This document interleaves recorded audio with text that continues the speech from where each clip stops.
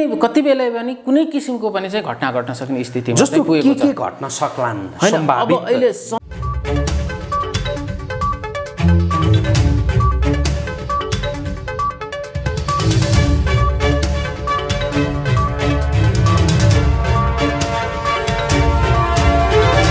नमस्कार।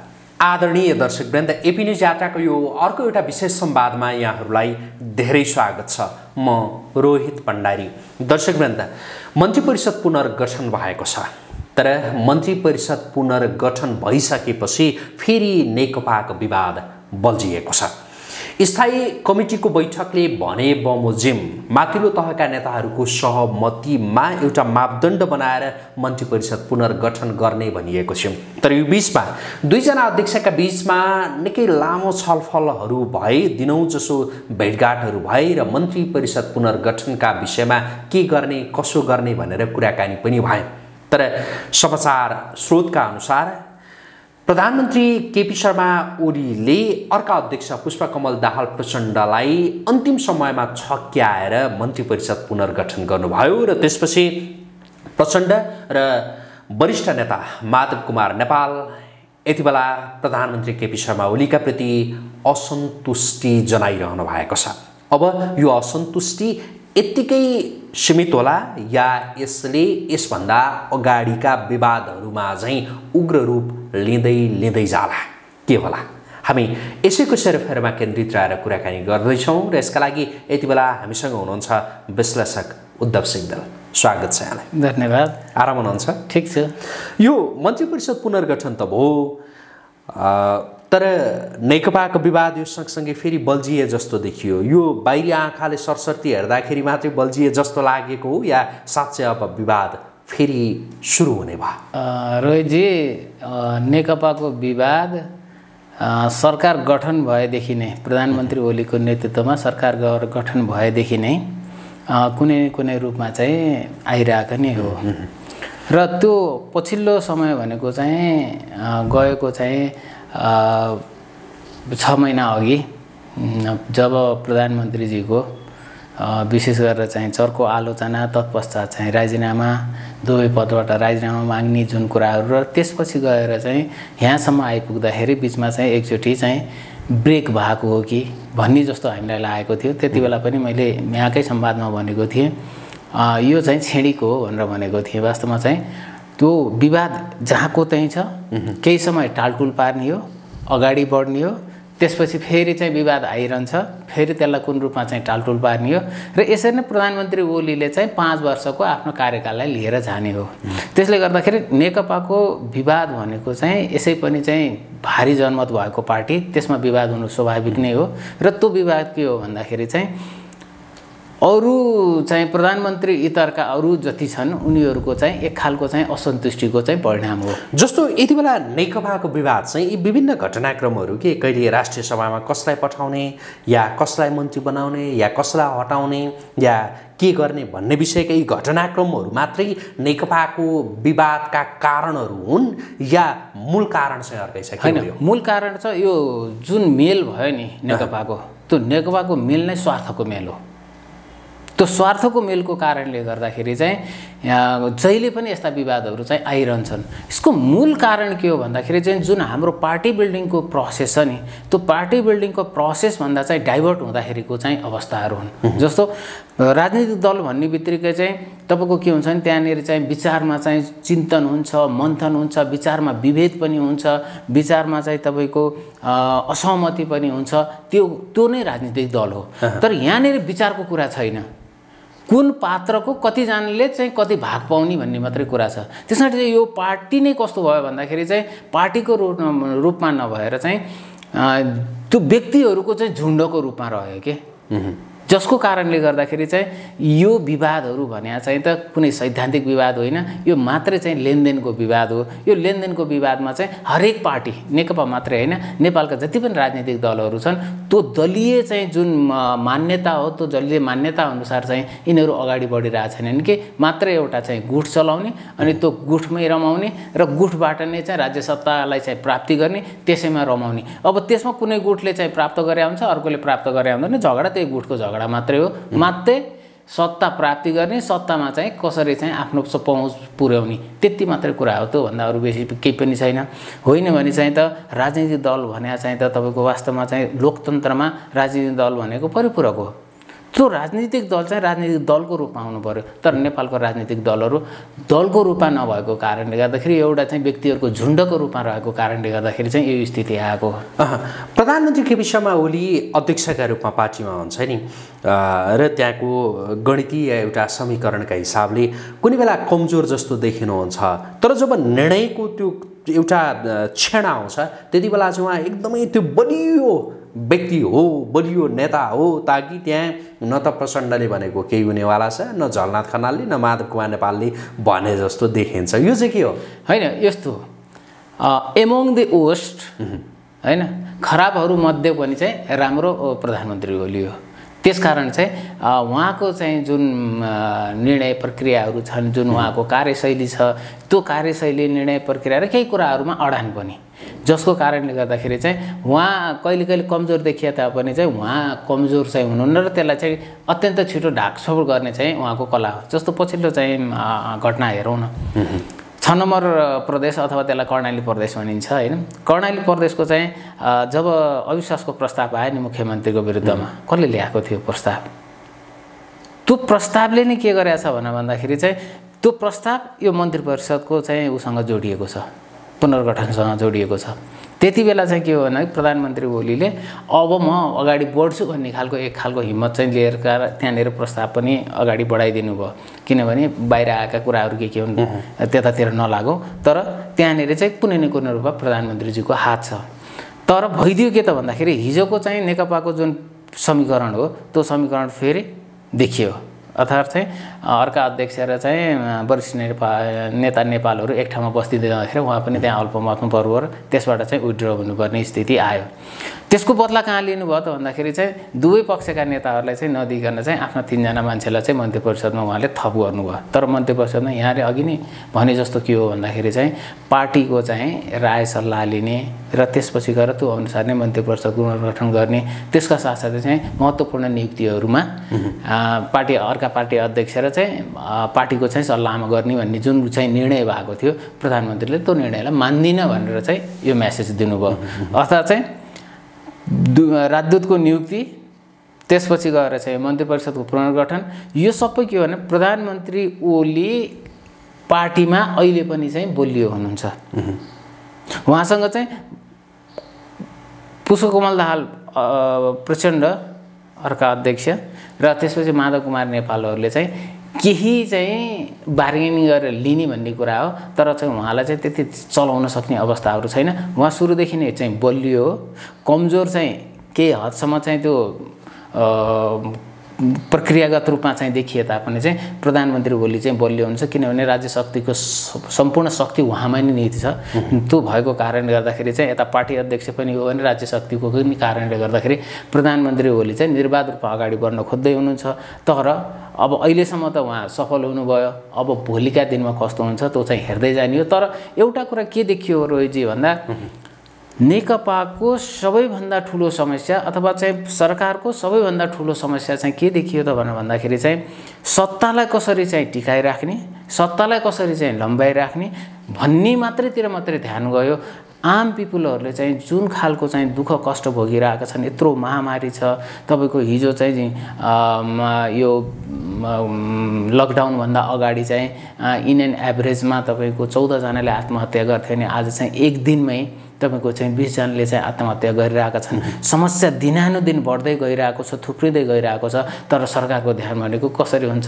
सत्ताको चाहिँ खेलमा मात्रै लागिरहने पिपुल सेन्टर चाहिँ हुँदै भएन। यसले गर्दाखेरि चाहिँ प्रधानमन्त्रीजी सत्ता खेलमा त बलियो हुनु होला तर सच चाहिँ पिपुललाई डेलिभरी गर्ने गर्ने गर्ने कुरा र त्यसपछि गएर पिपुलहरूसँग जोडिने कुरामा चाहिँ प्रधानमन्त्रीजी चाहिँ कमजोर हुँदै जानुभएको छ। अब यो नेकपाको मैले अघि कुराकानीको सुरुमा पनि सोधेँ यहाँसँग कि नेकपाको अब पछिल्लो समयमा फेरि सुरु होला होला जस्तो देखिएको यो जुन विवाद छ यो चाहिँ के होला? यसले अब थप उग्र रूप लिँदै जाला या यत्तिकै सामसुङ हुने सम्भावना? अब प्रधानमन्त्रीजीलाई के गर्दा सहज हुन्छ त्यो गर्दै जानुहुन्छ उहाँले। आफूलाई सहज हुने तरिकाहरू गर्दै जानुहुन्छ। अर्का अध्यक्षले चाहिँ के भन्नुहुन्छ उहाँलाई त्यति धेरै सरकारको विषय छैन वरिष्ठ नेता ने- नेताले के भन्नुहुन्छ त्यति धेरै सहज कुरा। एउटा कुरा चाहिँ के बुझ्नुपर्छ हामीले भन्न भन्दाखेरि प्रधानमन्त्रीजी ओलीले जब चाहिँ तपाईँको यो सङ्कटकै अवस्थामा लकडाउनकै अवस्थामा जुन अध्यादेश लिएर आउनुभयो दल सम्बन्धीको अध्यादेश लिएर आउनुभयो त्यसबाट स्पष्ट छ प्रधानमन्त्रीजी ओली त्यसमा आज पनि कायम हुनुहुन्छ। फिर्ता गर्नुभयो त्यति बेला। परिस्थिति चाहिँ अनुकूल भएन। फिर्ता गर्नुभयो। तर अब के हो भन्दा करिब करिब चाहिँ तपाईँको त्यो बेला आउँदैछ अब। त्यो अध्यादेशको बेला आउँदैछ अब। त्यो अध्यादेश कति बेला चाहिँ आउँछ त भनेर भन्दाखेरि चाहिँ जुन दिन चाहिँ उहाँलाई प्रधानमन्त्री भइसकेपछि दुई वर्ष चलाउन नपाइयोस्। अर्थात् अर्को आम निर्वाचनसम्म चाहिँ उहाँलाई चाहिँ चलाउन नपाइयोस्। त्यसको लागि चाहिँ अब यो असोजको आज अन्तिम जस्तै हो उन्तिस गते हो अब कार्तिक दसैँ तिहारको बिचमै जान्छ। मङ्सिरमा चाहिँ उहाँले प्रक्रिया सुरु गर्नुभयो भने पनि पुसमा नयाँ मन्त्री परिषद गठन भयो भने त्यसको दुई वर्ष जाँदाखेरि अर्को चुनाव आउँछ। र उहाँले यही नेकपा भित्रबाट चाहिँ सहज रूपमा चाहिँ जान सकिने स्थिति भयो। यही नेकपालाई चाहिँ सहज रूपमा चाहिँ राखेर अगाडि बढिरहनुहुन्छ। होइन नेकपाबाट अप्ठ्यारो हुने स्थिति आयो भने उहाँले पार्टी फोरेर त्यसपछि गएर चाहिँ विपक्षीसँग चाहिँ सहकार्य गरेर भए पनि जसरी हुन्छ दुई वर्षको थप दुई वर्षको प्रधानमन्त्री उहाँलाई चाहिएको। त्यसको लागि चाहिँ प्रधानमन्त्रीजीले हरेक अप्सन्समा चाहिँ उहाँले प्रयोग गर्दै जानुहुन्छ। र त्यो प्रयोगको एउटा कडी यो पनि हो। उहाँले चाहिँ प्रतिक्रिया हेर्नु खोज्नु भएको यहाँ अब जस्तो अबको दुई वर्षका लागि भन्नुभयो नि नेकपाको सचिवालय बैठक स्थायी कमिटीको बैठकमा नै एक खालको सहमति भइसकेको छ कि पाँच वर्षको ढुक्कको प्रधानमन्त्री भनेको केपी शर्मा ओली हो भनेर। अब त्यो सहमतिबाट पछाडि हटेर प्रचण्ड माधव नेपाल झलनाथ खनाल लगायतका नेताहरूले उहाँलाई हटाउने गरी प्रधानमन्त्रीको कुर्सीबाट उहाँलाई हटाउने गरी त्यस्ता चलखेलहरू गर्न सक्नुहोला र? होइन। ताकि केपी शर्मा ओलीले अनि अरू थप विषयमा सोचिरहन परोस्।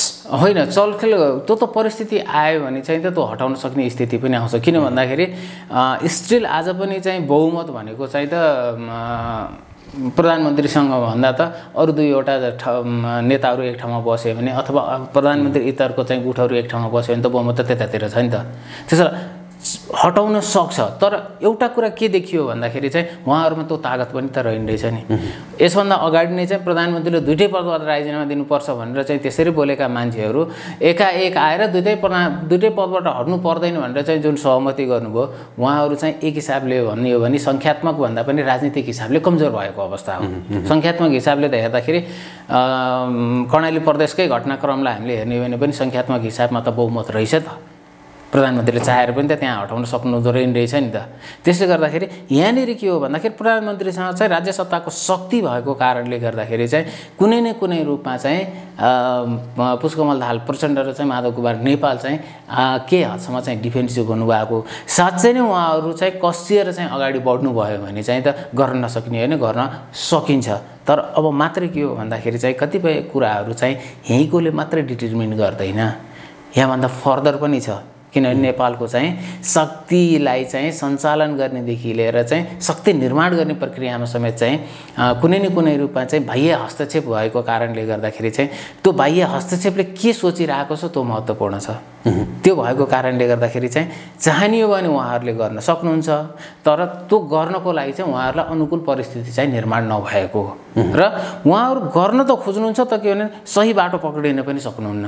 जस्तो त्यसभन्दा अगाडि चाहिँ स्थायी कमिटी अथवा चाहिँ तपाईँको चाहिँ सचिवालयमा प्रधानमन्त्रीजीको राजीनामा माग्ने होइन प्रधानमन्त्रीलाई राजीनामा गराउनु नै थियो भने चाहिँ अविश्वास प्रस्ताव संसदीय दलमा ल्याइदिएको भए हुन्थ्यो नि त। तर प्रधानमन्त्रीजीले आजका दिनमा ती सम्पूर्ण ढोकाहरू बन्द गरिदिनु भएको छ। संसद छैन संसदीय दलको बैठक हुँदैन। त्यसपछि गएर उहाँले यो कुराहरू गर्दै जानुहुन्छ यतापट्टि विरोध हुँदै जान्छ उहाँहरू अगाडि बढ्दै जानुहुन्छ। तर परिस्थिति यस्तो पनि आउन सक्छ कि चाहिँ वास्तवमा प्रधानमन्त्रीलाई फाल्ने परिस्थिति चाहिँ आउन पनि सक्छ त्यो अवस्थामा त फेरि कम्युनिस्ट पार्टीको के भन्दा कि स्प्लिट नै हो। जस्तो यो बिचमा वामदेव गौतम अर्थमन्त्री बन्ने भन्ने त्यो चर्चा पनि थियो होइन? तर यता सर्वोच्चमा रिटेदार भयो त्यसको अन्तिम किनारा लागिसकेको छैन। त्यो भएर पनि उहाँलाई मन्त्री परिषदमा त्यो सामेल हुने त्यो बाटो बन्द भयो होला। तर एक खालको आशा एक खालको अपेक्षा त वामदेव गौतममा पक्कै थियो नै होला। ताकि मन्त्री त्यो अर्थ या अरू कुनै एउटा महत्त्वपूर्ण एउटा मन्त्रालय पाइएला भन्ने। अब उहाँका तर्फबाट चाहिँ उहाँले कतातिर साथ दिनु होला यो या होइन ठिकै छ सांसद बनिहालेँ राष्ट्रिय सभामा म पुगिहालेँ अब यहाँभन्दा ज्यादा के नै होला र भनेर उहाँ चुप लाएर बस्नु होला होइन अब यस्तो उहाँ चाहिँ प्रयोग हुनुभएको हो। प्रयोग हुनुभयो। उहाँलाई मन्त्री परिषदमा लैजाने चाहिँ प्रधानमन्त्रीको कहिले सोचै होइन। त्यो सोच्नु भएको पनि होइन प्रधानमन्त्रीजीले। तर पार्टीको साह्रै नै प्रेसर परेको कारणले राष्ट्रिय सभासम्म लगिएको हो। तैपनि त्यो विवादित हुन्छ भन्ने कुरा प्रधानमन्त्रीलाई पहिले नै थाहा थियो। उहाँको चाहिँ विवाद हुन्छ उहाँलाई चाहिँ मन्त्री परिषदमा चाहिँ लैजान सकिँदैन भन्ने कुराहरू त पहिले थाहा थियो र थाहा भएकोले चाहिँ उहाँ त्यता जानु। तर अब समस्या के हो त्यहाँनिर भनेर भन्दाखेरि चाहिँ अघि नै पनि मैले भने यो जुन पार्टी हो नि पार्टी चाहिँ पार्टीको रूपमा चाहिँ रहन नसक्नु भएको कारणले रहन नसकेको कारणले गर्दाखेरि त्यो खालको समस्या आएको। अब वामदेवजीको चाहिँ हकमा के हो त भनेर भन्दाखेरि चाहिँ किन प्रयोग हुनुभयो? मलाई थाहा छैन। तर यदि चाहिँ साँच्चै नै चाहिँ पूर्व माओवादीबाट अथवा चाहिँ केपी शर्मा ओलीको पूर्व नेकपाका नेकपा एमालेका चाहिँ इतरबाट चाहिँ मन्त्री परिषदमा चाहिँ लाने भन्ने कुराहरू हुन्थ्यो भने त कुनै न कुनै रूपमा प्रधानमन्त्रीले एडजस्ट गर्ने प्रयत्न गर्नुहुन्थ्यो। जस्तो नारायण काजीको पनि चर्चामा आएको थियो। तर उहाँलाई पनि मन्त्री परिषदमा लगिएन। भन्यो भनेपछि एउटा कुरा के स्पष्ट देखिन्छ भने प्रधानमन्त्री ओली आफ्नो गुठलाई संरक्षण गर्दै त्यो गुठबाट नै चाहिँ अगाडि बढ्ने चाहिँ उहाँको चाहिँ जुन दृढता हो त्यो दृढता चाहिँ यहाँनिर प्रकट भएको छ। र आज पनि प्रधानमन्त्री ओली चाहिँ बोलियो हुनुहुन्छ भन्ने कुरा चाहिँ यसले चाहिँ देखाएको छ। र त्यस कारण चाहिँ वामदेवजीले चाहिँ के भन्दाखेरि सर्टेन समहाउ बार्गेनिङ गर्दै केही प्राप्त भइहाल्छ कि? भनेर चाहिँ त्यो प्रयास मात्रै गरे। त्योभन्दा धेरै ठुलो चाहिँ वामदेवजीबाट चाहिँ अपेक्षा गर्ने अवस्था चाहिँ नेकपामा चाहिँ छैन। प्रधानमन्त्रीको कुर्सी अब बलियो भयो। यो मन्त्री परिषद पुनर्गठनसँगै या धर्मराउने अवस्थामा पुग्यो। होइन प्रधानमन्त्रीजीले विवादमा ल्याइदिनु भयो। विवादमा इन द सेन्स के त भन्दाखेरि वास्तवमा चाहिँ दलीय व्यवस्थामा चाहिँ दलको भूमिका महत्त्वपूर्ण हुन्छ सत्ता सञ्चालनदेखि लिएर चाहिँ सर्भिस डेलिभरीसम्म पनि। तर त्यो दलको भूमिकालाई उहाँले चाहिँ जसरी चाहिँ न्यूनीकरण गर्नुभएको छ त्यो एउटा चाहिँ सामान्य संसदीय व्यवस्थाको चाहिँ जुन परिपाटी हो त्यो परिपाटीसँग चाहिँ त्यति धेरै मेल खाँदैन। हाम्रो सन्दर्भमा है बाहिरको हकमा चाहिँ अलिक फरक छ। हाम्रो सन्दर्भमा के भन्दाखेरि पार्टी सत्ता कब्जा गर्ने पार्टी सत्ता मार्फत चाहिँ राज्य सत्ता। यो नै चाहिँ बाटो भएको कारणले गर्दाखेरि चाहिँ हाम्रा सन्दर्भमा चाहिँ त अलिक होइन होइन भने चाहिँ त पार्टीले निर्णय गरिसकेको छ। पार्टीको निर्णयलाई अवज्ञा गर्दै जाँदाखेरि चाहिँ त कम्तीमा पनि पार्टीलेबाट चाहिँ प्रश्नहरू उठ्ने यो झगडा चाहिँ त घट्नेभन्दा बढ्दै जाने हुन्छ र कुनै एउटा सेचुरेसनको पोइन्टमा पुग्ने नै हो। अब यति बेला चाहिँ प्रधानमन्त्रीका विरुद्धमा प्रचण्ड र माधव कुमार नेपाल झलनाथ खनालहरूले चाल्न सक्ने त्यस्तो कुनै स्टेप देखिन्छ? कि देखिन्न? त्यो स्टेप देखिन्छ। सायद माथिबाटै चाहिँ मात्रै नभएर यो जुन प्रदेशहरू छन् नि प्रदेशहरूमा चाहिँ जसरी चाहिँ कर्णालीमा अविश्वासको प्रस्ताव आयो अन्य प्रदेशमा पनि चाहिँ प्रचण्डजी र माधव कुमार नेपाल लगायतका चाहिँ एक ठाउँमा बसेर चाहिँ त्यो अविश्वासको प्रस्ताव लिएर आउनु भएर कुनै एउटा मुख्यमन्त्री मात्रै हटाउन सक्नुभयो भने त त्यसले एउटा चाहिँ स्पष्ट चाहिँ तपाईँ विभाजनको रेखा चाहिँ कोर्नेछ। र त्यहाँसम्म चाहिँ जान सक्छ है। अब परिस्थिति त्यतातिर देखियो किन भन्दा? भनेको अब यति बेला माथि केन्द्रमा होइन प्रधानमन्त्रीलाई हटाउने या के गर्ने भन्नेतिर प्रचण्ड र माधव नेपालहरूको ध्यान त्यहाँ केन्द्रित नभएर प्रदेशहरूतिर प्रदेशतिर चाहिँ सिफ्ट हुने चाहिँ सम्भावना देखियो। किनभने त्यो घटनाले गर्दाखेरि। र मानौ कुनै एउटा प्रदेश एक नम्बर होस् अथवा पाँच नम्बर होस् अथवा तिन नम्बर नै होस् कुनै एउटा अब प्रदेशमा चाहिँ त्यो तर्फबाट अविश्वासको प्रस्ताव आयो भने र त्यस्तो पारित भयो भने चाहिँ त त्यसले कुन रूप लिन्छ भन्ने कुराहरू त हामी सहजै अनुमान र आकलन गर्न सक्छौँ। ओलीका एकदमै विश्वासपात्र भनिएका मन्त्री रक्षा मन्त्री उप प्रधानमन्त्री ईश्वर पोखरेललाई त्यहाँबाट प्रधानमन्त्री तथा मन्त्री परिषदको कार्यालयतिर लगियो। एक हिसाबले भन्ने भनेदेखि बिना विभागीय मन्त्री उप प्रधानमन्त्री बनाइयो। यो चाहिँ ईश्वर पोखरेलका माथिको एउटा कारवाही हो या उहाँलाई गरिएको दिएको एउटा पुरस्कार चाहिँ हो यो। यसलाई कारवाही र पुरस्कार भन्नुभन्दा पनि चाहिँ उहाँको चाहिँ जुन मन्त्री परिषदको सदस्यको हो त्यो मन्त्री परिषदको सदस्यलाई चाहिँ कन्टिन्युएसन गरिएको मात्रै हो। किनभने हामीले यसभन्दा अगाडि पनि चाहिँ दुईवटा नेताको बिचमा चाहिँ छलफल हुँदाखेरि चाहिँ प्रधानमन्त्री ओलीले खाली ठाउँमा मात्रै चाहिँ मन्त्री परिषदको पूर्ति गरौँ भन्नुहुन्थ्यो। तर म, पुष्पकमल दाहाल प्रचण्डले चाहिँ यसलाई पुनर्गठन गरौँ। ल्याउने भयो ती मन्त्रीहरू ल्याउने भए पनि चाहिँ एकचोटि राजीनामा गराएर अथवा एकचोटि चाहिँ सबै खाली गरेर चाहिँ नयाँ सेट लिएर आउँ। तिनीहरूले ल्याउनु पऱ्यो भने चाहिँ नयाँ ढङ्गले चाहिँ नियुक्ति गरौँ भनेर भन्नुभएको थियो। त्यसमा प्रधानमन्त्रीजी मान्नु भएको थिएन। र पछिल्लो समयमा विशेष गरेर सेनाका केही विषयहरूलाई लिएर त्यसपछि गएर चाहिँ यो ओम्नीको घटनाहरू भयो अथवा ओम्नी भन्दा भन्दा पनि तपाईँ स्वास्थ्य सामग्रीहरू चाहिँ लिएर आउने जुन प्रक्रियाहरू भयो त्यो प्रक्रियामा कहीँ न कतै चाहिँ उप प्रधानमन्त्रीजीलाई चाहिँ आरोप लगाइएको थियो आरोपित बनाइएको थियो अथवा चाहिँ मुछिएको थियो। र त्यो मुछिने क्रममा चाहिँ अलिकति चाहिँ उप प्रधानमन्त्री ईश्वर पोखरेलको छवि पनि केही हदसम्म चाहिँ त्यसले चाहिँ गिराएको पनि हो। र त्यही अवस्थामा चाहिँ प्रचण्डजीले चाहिँ होइन हटाउनुपर्छ भनेर चाहिँ एक खालको दबाब दिँदै जाँदाखेरि चाहिँ पब्लिक सेन्टिमेन्ट चाहिँ गेन हुने। र त्यसपछि गएर चाहिँ उतातिर चाहिँ प्रधानमन्त्री ओलीलाई चाहिँ एकदम अप्ठ्यारो परिस्थितिमा पनि साथ दिएको कारणले गर्दाखेरि चाहिँ म कमजोर हुन्छु भन्ने चाहिँ डरले एउटा कारण चाहिँ उहाँको कन्टिन्युएसन हुने त्यो हो। दोस्रो के हो भन्दाखेरि चाहिँ प्रधानमन्त्री ओलीले उहाँलाई लिनुपर्नेका चाहिँ अरू बाध्यात्मक कारणहरूका साथसाथै पनि अहिले जुन विभाग परिवर्तन भयो नि त्यो विभाग परिवर्तन हुनुमा चाहिँ पक्कै पनि चाहिँ सेनाले कुनै न कुनै रूपमा चाहिँ उप प्रधानमन्त्री ईश्वर पोखरेललाई त्यति सहज रूपमा चाहिँ नलिएको अर्थात् सेनालाई चाहिँ कुनै न कुनै रूपमा चाहिँ विवादमा मुछिएको। त्यो कारणले गर्दाखेरि सेना त्यति धेरै सन्तुष्ट थिएन। त्यसको साथसाथै चाहिँ उप प्रधानमन्त्रीले चाहिँ जुन रूपमा चाहिँ पब्लिक चाहिँ स्टेटमेन्ट दिनुभयो सेनाका बारेमा होइन?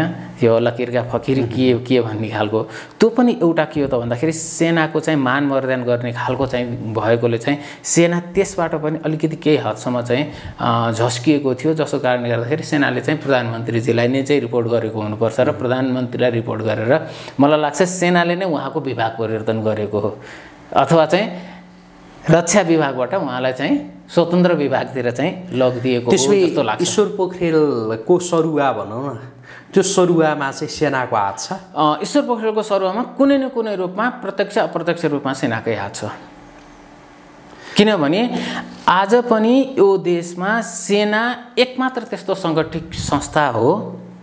र त्यस्तो चाहिँ शक्तिशाली चाहिँ तपाईँको चाहिँ राज्यको अङ्ग हो। त्यति व्यवस्थित त्यति अनुशासित अरू अङ्गहरू चाहिँ छैनन्। त्यसले गर्दाखेरि त्यो अङ्गमाथिको चाहिँ चाहिँ प्रहार भएको कारणले गर्दा सेनाले चाहिँ पक्कै पनि प्रधानमन्त्रीलाई रिपोर्टिङ गरेकै हुनुपर्छ। अब भोलिका दिनहरूका विषयमा कुरा गर्दै जाउँ न। नेकपा तपाईँले निकै पहिलादेखि भनिरहनु भएको थियो कि यो नेकपाको विवाद भनेको यसै गरी नै यो चलिरहन्छ र अन्तत यो फुट्ने नै हो भनेर भनिरहनु भएको थियो। अब भोलिको दिन कस्तो देख्नुहुन्छ तपाईँ? नेकपाको आन्तरिक राजनीतिलाई हेर्दाखेरि। पहिलो कुरा चाहिँ त नेकपाका नेकपाको चाहिँ जुन आन्तरिक राजनीति छ त्यो आन्तरिक राजनीतिले चाहिँ नेपालको अहिलेको चाहिँ जुन एक्जिस्टिङ दलहरू हुन् अथवा हिजोको चाहिँ मुभमेन्टबाट चाहिँ स्थापित भएका चाहिँ जुन दलहरू हुन् त्यो दलहरूको चाहिँ पहिलो कुरा चाहिँ नेकपा मात्र होइन सबै दलहरूमा प्रश्न चिन्ह उठेको छ कि यो दलहरूले क्रान्ति गर्न जानेको छ सेवा दिन जानेको छैन। भन्ने खालको चाहिँ जुन एउटा चाहिँ जनमानसमा चाहिँ गहिरोसँग जुन छाप बस्यो अर्थात् चाहिँ दलहरूप्रति नै चाहिँ पब्लिकको चाहिँ जुन तपाईँको वितृष्णा जाग्न थाल्यो नि। यसले गर्दाखेरि दलहरूको चाहिँ अहिलेको चाहिँ जुन दलहरू छन् तिनको औचित्यमाथि चाहिँ कहीँ न कतै चाहिँ प्रश्नहरू उठिरहेको छ।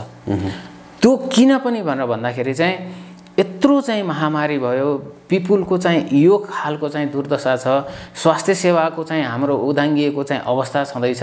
यस्तोमा चाहिँ दलहरू एक ठाउँमा बसेर चाहिँ गर्नुपर्ने ठाउँमा चाहिँ दलहरू खालि चाहिँ सत्ताको चाहिँ राजनीति गर्ने मात्रै गर्ने भएको कारणले गर्दाखेरि मलाई लाग्छ केही समय त जाला तर लामो भविष्य हेर्दाखेरि चाहिँ मलाई त्यति धेरै चाहिँ सुनिश्चित र राम्रो भविष्य जस्तो चाहिँ लाग्दैन नेकपाको पनि। किन भन्दाखेरि चाहिँ सत्ताले चाहिँ धेरै हदसम्म चाहिँ कम्युनिस्ट पार्टीहरूलाई बिगारेको नि हामी देख्छौँ।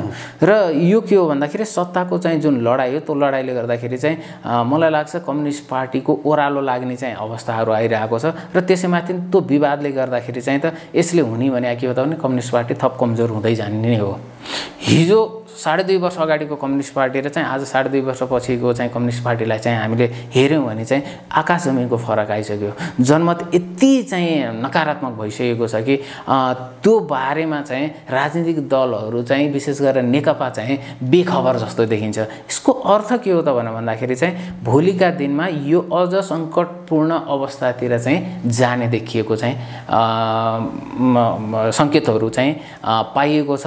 र यसले के हो त भन्दाखेरि अन्ततगत चाहिँ हाम्रो जुन चाहिँ बैसठी त्रिसठी पछि अथवा बहत्तर सालको चाहिँ संविधान हो यी सबै कुरामाथि चाहिँ कहीँ न कतै चाहिँ प्रश्न चिन्ह खडा गर्ने स्थिति चाहिँ सिर्जना गरेको छ। र यो तलमाथि केही भयो भने यो सम्पूर्ण नेकपाको कारणले मात्रै भएको हो भन्ने कुरामा चाहिँ हामी त्यति धेरै चाहिँ अलमलमा रहनुपर्छ जस्तो चाहिँ लाग्दैन। यसको अर्थ अब यो नेकपा या सरकारको विषय मात्रै होइन कि समग्र व्यवस्थामाथि नै प्रश्न चिन्ह उठिसकेको छ र जुनसुकै बेला जे पनि हुनसक्छ हो। एक्ज्याक्टली कति नै कति बेला पनि कुनै किसिमको पनि चाहिँ घटना घट्न सक्ने स्थिति जस्तो के के घट्न सक्लान्? अब अहिले सम्भावित घटनाहरूमा चाहिँ अहिले सरसर्ती हेर्दाखेरि चाहिँ सम्भावित घटनाहरूमा पहिलो कुरा के हो भन्दाखेरि चाहिँ जसरी चाहिँ लम्बित विषयको रूपमा चाहिँ अमेरिकन चाहिँ सहयोग लम्बित विषयको रूपमा रहिरहेको छ जसलाई एमसिसी भनेर सहज रूपमा हेरिन्छ। त्यो एउटा लम्बित विषयमा रहनु पनि के भने अमेरिकनहरू सन्तुष्ट छैनन्। एउटा त्यो भयो। त्यसपछि गएर चाहिँ चिनसँग चाहिँ हामीले सम्झौता गरेका छौँ बिएरआईको त्यसको पनि कार्यान्वयनको पाटोमा चाहिँ जान सकिरहेको चाहिँ छैन। र त्यसको साथसाथै चाहिँ भारतसँगको चाहिँ जुन हाम्रो सम्बन्ध हो नि त्यो अत्यन्त चिसिएको अवस्थामा छ। त्यसले गर्दाखेरि तपाईँ एउटा चाहिँ दुईवटा छिमेकी नजिकका दुईवटा छिमेकीलाई पनि आश्वस्त पार्न सक्नुहुन्न। र तपाईँ त्योभन्दा धेरै पर गएर चाहिँ आफ्ना कुराहरू चाहिँ राख्दै जानुहुन्छ भने पक्कै पनि चाहिँ यो के हो त भन्दाखेरि चाहिँ व्यवस्थाप्रतिको चाहिँ सङ्कट नै हो। हिजोका दिनमा पनि संविधान घोषणा गर्दै गर्दाखेरिमा चाहिँ भारतको जुन प्रतिक्रिया आएको थियो त्यो प्रतिक्रियामा चाहिँ त उसले के भने नोटिसमा मात्रै लिएको भनेर भनिरहेको छ। यो जाँदै गर्दाखेरि चाहिँ त त्यो छिमेकी त त्यसै पनि खुसी हुने रहेछ नि त। भनेपछि चाहिँ एउटा छिमेकी जसले चाहिँ नेपालको राजनीतिमा चाहिँ लामो समयदेखि चाहिँ प्रभाव पनि पार्दै आइरहेको र ऊ प ऊ चाहिँ निकै नै झस्किएको अवस्थामा चाहिँ एउटा परिस्थिति त्यो देखिन्छ। दोस्रो परिस्थिति के हो त भनेर भन्दाखेरि चाहिँ चिनको नेपालको चाहिँ जुन उपस्थिति छ त्यो उपस्थिति अत्यन्त चाहिँ जबरजस्त रूपमा चाहिँ प्रस्तुत भएको छ। जसको कारणले गर्दाखेरि चाहिँ नेपालको चाहिँ जुन अवस्था हो त्यो अवस्थाप्रति चाहिँ उनीहरूले बहुत नजिकबाट चाहिँ मूल्याङ्कन गरिरहेका छन्। विशेष गरेर चाहिँ पश्चिमाहरूको चाहिँ जुन खालको चाहिँ नेपालको राज्य व्यवस्था राज्य संयन्त्रमा र त्यसपछि गएर चाहिँ राजनीतिक दलहरूमा जुन खालको प्रभाव छ त्यो प्रभावबाट चिन पनि निकै झस्केको अवस्था छ। यो भएको कारणले गर्दाखेरि चाहिँ कतै भोलिका दिनमा चिन र भारत एक ठाउँमा बसिदियो भने चाहिँ त तपाईँको यो व्यवस्था भने चाहिँ उति बेला पनि उखालिन सक्छ।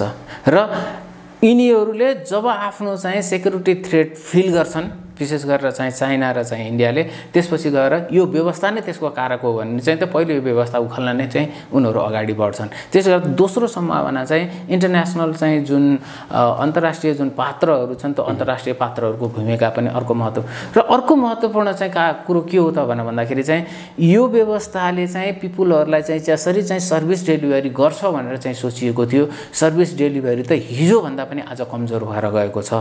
र यो व्यवस्था निकै नै बोजिलो भएर गएको छ। आज चाहिँ प्रदेश सरकारहरूको भूमिकालाई हेर्ने हो भने प्रदेश सरकारहरू वास्तवमा चाहिँ भूमिका बिना अवस्थामा छन्। र त्यसपछि गएर शिरदेखि पाउसम्म चाहिँ हामीले हेऱ्यौँ भने चाहिँ केन्द्र सरकारदेखि स्थानीय सरकारसँगको जुन चाहिँ आर्थिक अनियमितताका कुराहरू आइरहेका छन् यो चाहिँ थेक्नै नसकिने खालको चाहिँ आर्थिक अनियमितताहरू देखिएका छन्। त्यसले गर्दाखेरि चाहिँ यो व्यवस्थाप्रति चाहिँ अत्यन्त पिपुलको चाहिँ नकारात्मक चाहिँ भावना चाहिँ विकसित भएको छ यसले पक्कै पनि चाहिँ दुर्घटनातिर लिएर जान्छ भन्ने कुरा कुराहरूमा चाहिँ त्यति धेरै चाहिँ चिन्तन गरिरहनुपर्छ जस्तो चाहिँ लाग्दैन। अब अलिकति चाहिँ म थपौँ। यो व्यवस्थाको सबैभन्दा ठुलो चाहिँ समस्या के हो त? भनेर भन्दाखेरि चाहिँ यो व्यवस्थाको सबैभन्दा ठुलो समस्या भनेको चाहिँ एज अ सरकार भनेको अथवा राज्य भनेको चाहिँ पिपुलको गार्जियन हो। पिपुललाई चाहिँ दुःख पर्दाखेरि चाहिँ तपाईँले चाहिँ एज अ गार्जियनको रूपमा चाहिँ पिपुललाई हेर्न पर्ने हो। तर विगत छ महिनामा चाहिँ यो महामारी सँगसँगै चाहिँ हामीले हेऱ्यौँ भने चाहिँ त राज्य त पिपुलको समस्याहरू बेखबर छ। सबभन्दा ठुलो दुर्भाग्य हो हामीले के गऱ्यौँ? भन्दाखेरि चाहिँ हिजोको चाहिँ जुन हाम्रो चाहिँ संरचनाहरू छन् ती संरचनाहरूलाई भक्तगाम र व्यक्तिलाई नै सार्वभौम बनाउने भन्ने खालको चाहिँ जुन व्यवस्थाले सोचेको कुराहरू त त्यतातिर गयौँ। तर न व्यक्तिलाई सार्वभौम बनाउन सक्यौँ न त हाम्रो चाहिँ आफ्ना चाहिँ मूल्य मान्यताहरूलाई जोगाउन सक्यौँ। त्यसले गर्दाखेरि एकदम सङ्कटको अवस्थामा चाहिँ आइसकेको छ। र यो सबै सङ्कट के हो त भन्दाखेरि व्यवस्थाप्रतिकै सङ्कट हो। यसमा चाहिँ कुनै दुविधा छैन। त्यसले गर्दाखेरि चाहिँ इन्टरनल प्लेयरबाट हुन्छ अथवा चाहिँ एक्सटर्नल प्लेयरबाट हुन्छ। व्यवस्थामाथि चाहिँ निकै नै ठुलो चुनौती आएको छ र सम्भवतः लाग्छ यो व्यवस्था बोक्न सकिँदैन भनेर चाहिँ त त्यहाँभित्र पनि चाहिँ छलफल भइरहेको हुन्छ तर गर्न केही सक्ने अवस्थामा छैनन्। त्यसले गर्दाखेरि उनीहरू पनि अरूकै चाहिँ सहारा हेरिरहेको अवस्था चाहिँ हामी पाउँछौँ। यति बेला कतिपयले के भनिरहेछन् भनेदेखि यो अब देश चाहिँ राजनैतिक सङ्कटतर्फ उन्मुख हुँदैछ बिस्तारै बिस्तारै। त्यसका सङ्केतहरू देखिँदैछन्। पटक पटकको नेकपाको विवाद या अरू विषयहरू हेर्ने हो भने। र यस्तो अवस्थामा चाहिँ सेनाले स्टेप चाल्न सक्छ भनेर मान्छेहरूले कतिपयलाई आकलन पनि गरिरहेछन्। तपाईँलाई चाहिँ के लाग्छ? मैले सेनाको बारेमा चाहिँ त्यति धेरै टिप्पणी गर्दिनँ। पहिलो कुरा चाहिँ। तर एउटा कुरा के भने नि जब यो देशको चाहिँ सोभरेन्जिटीमा प्रश्न आउँछ नि सेना त्यति बेला चुप लागेर बस्दैन। यो चाहिँ निश्चित हो। तर त्यो सोभरेन्जिटीमा चाहिँ प्रश्न आयो कि आएन? भन भन्दाखेरि त्यो सोभरेन्जिटीमा चाहिँ कहीँ कतै हाम्रो व्यवस्थाले चाहिँ प्रश्न ल्याइदिइरहेको छैन। हो यो व्यवस्थाको सबैभन्दा ठुलो चाहिँ एउटा समस्याको रूपमा चाहिँ हिजोसम्म चाहिँ मानौँ न पन्ध्र वर्ष अगाडिसम्म हामी कसैले पनि चाहिँ यो देशको चाहिँ विभाजन हुन्छ र भन्ने त्यतातिर कसैले सोद्धा पनि सोध्दैन थियो त्यतापट्टि चिन्तन पनि गर्दैन थियो तर जसै चाहिँ बैसठी त्रिसठी पछि चाहिँ अझै विशेष गरेर चाहिँ सङ्घीयता हामीले लिएर आइसकेपछि त अनि सबैको चाहिँ आशंका के हो भन्दाखेरि चाहिँ त कहीँ कतै विभाजन त हुने होइन भने एक खालको चाहिँ साइकोलोजिकल ट्रिटमेन्ट गरायो। यो व्यवस्थाले नै गराएको त्यसले गर्दाखेरि सेनाले अब्जर्भ गरेर बसेको छ। सोभरेन्जिटीको चाहिँ क्वेसनमा सेना अगाडि आउँछ। होइन भने चाहिँ त सेनाले चाहिँ शासन लिने के अरे शासन सत्ता हातमा लिने त्यसपछि गएर शासन चलाउने भन्ने कुरा चाहिँ त सम्भवतः नेपाली सेनाबाट चाहिँ त्यो परिकल्पना गर्न चाहिँ सकिँदैन। त्यसले गर्दाखेरि चाहिँ सोभरेन्जिटीको क्वेसनमा नेपाली सेना अगाडि आउँछ। अन्यथा चाहिँ यो चाहिँ सत्ताको चाहिँ लुछाचुडी यो चाहिँ यसको चाहिँ तल माथिको कुराहरूमा चाहिँ सेना चाहिँ आउँदैन। एउटा कुरा यो यो चाहिँ मेरो आफ्नो बुझाइ हो र प्र्याक्टिसेसहरूलाई हेर्दाखेरि पनि यही देखिन्छ। भने दोस्रो व्यवस्थाबाट खतरा अरू कसैबाट छैन? व्यवस्थाहरू खतरा यिनै पात्रहरूबाट छ। सबै दलका। सबै दलका। यिनै पात्रहरूबाट चाहिँ व्यवस्थालाई खतरा छ। र यो व्यवस्थालाई खतरा चाहिँ हामीले धेरै टाढा जानै पर्दैन। दुई हजार पन्ध्र साल दुई हजार सत्र साल चाहिँ किन घटित भयो भनेर भन्दाखेरि चाहिँ त्यहाँनिर कमजोर प्रतिपक्ष भएको कारणले गर्दाखेरि चाहिँ घटित भएको प्रजातन्त्र एउटा गुम्नुमा चाहिँ त्यो एउटा चाहिँ कारण हो त्यति बेला। भनेपछि आजको पनि चाहिँ जुन प्रतिपक्षी हो त्यो प्रतिपक्ष यति कमजोर भयो कि जसको कारणले गर्दाखेरि चाहिँ त यो व्यवस्थालाई सबभन्दा ठुलो थ्रेड भने नि प्रतिपक्ष नै नभएको जस्तो भएको कारणले हो। त्यसले गर्दाखेरि चाहिँ व्यवस्थामा चाहिँ धेरै ठुलो चाहिँ षड्यन्त्रहरू भइरहेका छन् र त्यहाँनिर सेनाभन्दा पनि चाहिँ मैले चाहिँ यो के देख्दैछु भन्दाखेरि चाहिँ कुनै चाहिँ सङ्गठित शक्तिको आडमा अथवा चाहिँ कुनै पनि चाहिँ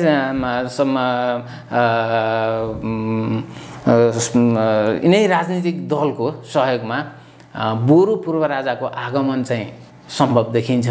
तर सेनाले चाहिँ टेक ओभर गरेर सेनाले चाहिँ ह्यान्डल गर्ने भन्ने कुराहरूमा चाहिँ त्यति विश्वास लाग्छ कतिपयले भनिराखेको कुरा चाहिँ सेनाले टेक ओभर गर्ने र त्यसपछि राज संस्था पुनर्स्थापना भनेर भनिरहेका छन्।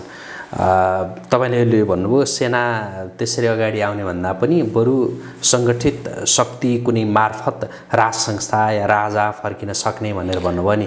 त्यसको पनि त बाटो त होला नि त फेरि। मैले भने त्यो बाटो छ। त्यो बाटो चाहिँ के हो त भनेर भन्दाखेरि चाहिँ सिम्पली मैले देखेको मेरो अझ भित्री कन्साइन्स के भन्छ भनेर भन्दाखेरि चाहिँ र केही चाहिँ तथ्यहरूले के भन्छ यो पार्टीहरूको झगडाहरूले चाहिँ के भन्छ भनेर भन्दाखेरि चाहिँ यही पार्टीभित्रबाट नै चाहिँ त्यो सम्बन्धी चाहिँ आवाज आउने र त्यसमा सेनाले पनि ब्याकिङ गर्ने भने त्यो अवस्थामा चाहिँ संवैधानिक राजतन्त्रसहितको चाहिँ लोकतन्त्र यो देशमा चाहिँ सम्भव हुनसक्छ भन्ने चाहिँ मेरो तर्क हो। हुन्छ आजका लागि कुराकानी यति गरौँ। जुन समय दिनुभयो यसका लागि यहाँलाई धेरै धन्यवाद। ल यहाँलाई पनि चाहिँ धेरै धन्यवाद। हस् आदरणीय दर्शकवृन्द हामी कुराकानी गर्दैथ्यौँ। राजनैतिक विश्लेषक उद्धव सिगदेलसँग उहाँसँगको यो कुराकानीसँगै एपी न्युज यात्राको विशेष संवाद अहिलेका लागि यही सकिन्छ एपी न्युज यात्रा सँगै रहनुहोला। नमस्कार।